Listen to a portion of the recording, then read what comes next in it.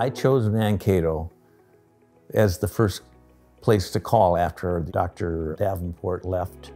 I saw that he was leaving and I had seen him at the aviation banquets. My son had a scholarship there. That was a reminder that I still owed the school a million dollars. He had told me that many times about how he needed to give back. He said, you know, I need to do this. You know, I promised if I ever made it, I would. And now is the time. Mary and I decided that we talked about it for about one second and we decided to fund it. Our foundation was started when I sold the company.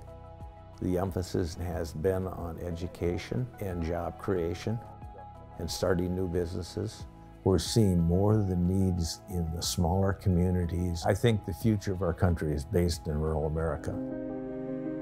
My middle and high school, I went to Kennewaminamingo, which is still a very small town. There's only Subway there and a little bar and grill. I've been in Howard Lake since I was born the first 18 years of my life, and the first time I moved away or to like live outside of my house was coming here to Mankato. Scholarships for students that come from smaller towns are a great idea. I came from a high school, didn't have a robotics club, didn't have a lot, like it was just the three sports and that was about it. Scholarship like these from the Klick Foundation allows students to come back to their rural communities and bring back the knowledge and skills that they've learned to the jobs there. We have 12 scholarships. We have graduate and undergraduate, things that Mary and I are interested in, things that have been important to our family. Without engineering, you can't build anything. Without aviation, I don't know how people are going to move around the world. Without nursing or healthcare, you can't keep people alive. I think the nursing scholarship is the most important to me. We were so impressed when we saw the facility at Mankato. The purpose of the graduate ones is the reason I'm sitting here is because I needed that MBA and I know how important it is.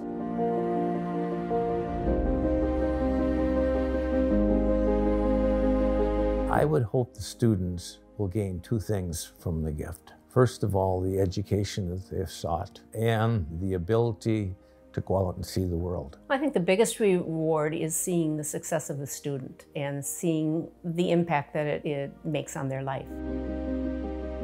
Having the Klick Foundation believe in me is really refreshing because aviation's not easy. There's a lot of expense that goes into it and flight training is really hard. So knowing that he's there backing me up and believing me has really been nice along the way. It allows me to learn the material and I'll focus on my courses a lot more. So overall, it helps people get a higher education more easily without stressing so much. Certainly don't need to be recognized for giving something.